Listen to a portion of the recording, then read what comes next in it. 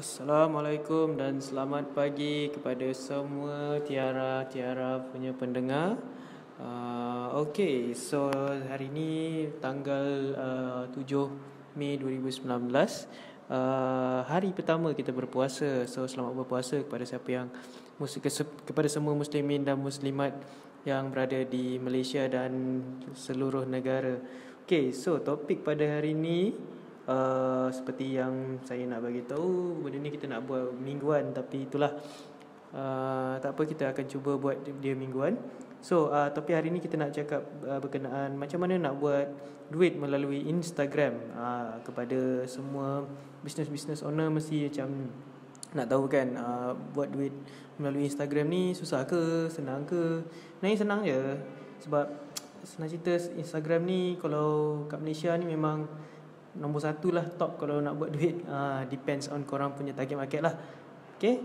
So Instagram ni dia dia bersama dengan Facebook. Dia dah uh, Facebook dah beli Instagram uh, beberapa tahun lepas sebab Facebook nampak potensi Instagram untuk pergi jauh. Sebab Instagram kan dia gambar and orang semua sekarang suka tengok gambar kan. So itu sebab uh, kenapa Facebook beli Okay, uh, sekarang ni saya nak berbincang sedikit berkenaan dengan macam mana korang semua ya, business-business owner, founder-founder semua boleh buat duit kat Instagram. Okay, pertama sekali, pertama sekali yang korang kena buat adalah korang kena reach dan juga korang kena ada influence di Instagram tu. Okay, apa maksud saya berkenaan tu adalah sebab bila followers banyak kan, bila kita reach ramai orang, followers pun makin bertambah.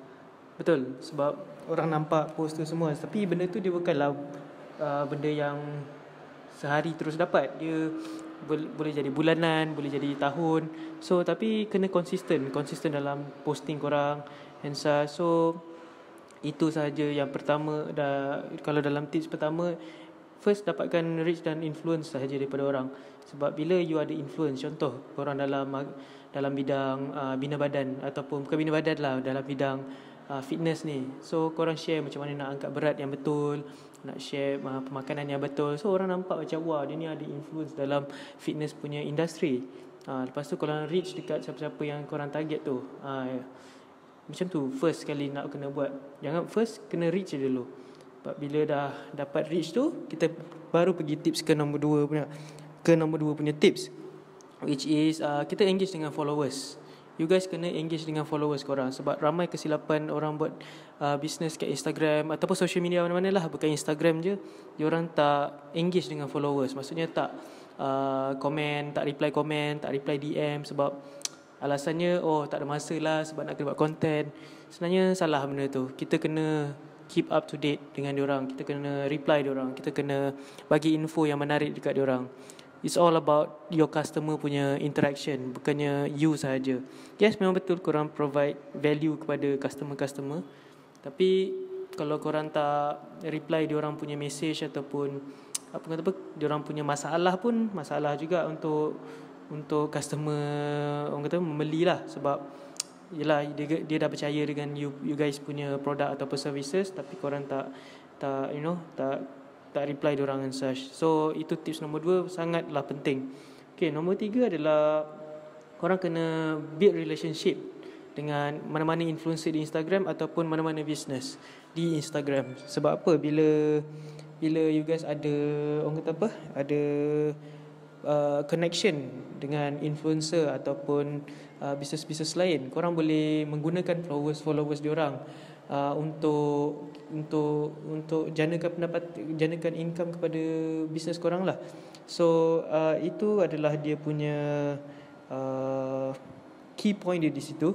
Sebab contoh korang ada connection dengan contoh lah Nilofa. Kita ambil Nilofa lah. Tiba-tiba Nilofa tag korang kita uh, tiba-tiba uh, contoh lain adalah McDonald McDonald tag korang kan kan korang dah dapat free awareness di situ bridge korang makin bertambah Ha, lepas tu followers pun of course lah bertambah sebab follow-followers ni Lofa berjuta-juta, McDonald's pun berjuta-juta kan. So korang akan dapat free branding di situ, free awareness dan juga free reach di situ. Jadi tapi itulah dengan influencer ni ataupun bisnes-bisnes lain ni kita kena offer dia orang something. Mungkin kalau influencer dia orang nak tahu bayaran ataupun free produk produk ke so korang boleh deal macam tu lah tapi dengan return yang korang akan bakal dapat uh, korang akan suka dengan apa yang uh, kata apa result yang korang akan dapat lah uh, tapi macam saya kata lah benda tu kena konsisten tak boleh tak boleh yang kata apa sekejap buat sekejap tak buat Okay, so itu adalah cara antara cara-cara macam mana kita nak buat uh, duit melalui Instagram. Bukan kita lah, you guys buat. Sebab it's all about your business lah. Apa-apa sekarang ni social media kalau tak gunakan sepenuhnya memang tak akan dapat uh, result dia lah. So saya summary, uh, summarizekan balik uh, semua yang saya dah bagi tadi. Nombor satu, first kena reach dan in, dapatkan influence daripada custom, bakal pelanggan. Lepas tu nombor dua, apa yang korang kena buat pada nombor dua adalah korang kena keep engaging engage dengan followers uh, keep engage dengan followers sebab customer ni dia banyak masalah so korang kena jadi jalan penyelesaian dia. Nombor tiga adalah building relationship dengan influencer dan juga other business. So di sini mana uh, kata apa dapatkan uh, free branding and such lah. Uh, so itu itu sahaja topik kita pada hari ini. How to make money on Instagram. Macam mana nak janakan pendapatan melalui Instagram. Okey sebelum saya akhirkan saya punya orang kata apa uh, bebelan ni uh, kita pada Ramadan yang mulia ini kita ada buat offer service. Okey offer service ni senang je. Kita nak bagi semua business owner yang yang nak tengah naik ini sekarang dapat dapat produk orang kata apa gambar yang cantik lah nanti bila raya ataupun time puasa ni. Free produk fotografi. Kita akan buat secara percuma sahaja Okay, tapi dia ada syarat tertentu lah. Nak tahu apa syarat dia? Ha, korang kena DM lah kita orang di Instagram ataupun WhatsApp kami terus ke supaya kita orang boleh terangkan lebih lanjut. Siapa yang nak free produk fotografi ni bolehlah komen di komen uh, ruangan komen di bawah ataupun boleh je terus DM kita orang terus. Okay, itu sahaja daripada saya. Uh, saya Izzat daripada Tiara Digital Advertising. Uh, kita akan teruskan uh, sharing sharing ni uh, secara mingguan. InsyaAllah. Kalau tak ada tak ada gangguan lah tak ada apa-apa yang penting daripada ni. Tapi kami akan teruskan memberi konten-konten macam ni. Okay? So uh, terima kasih kerana mendengar dan assalamualaikum. Bye bye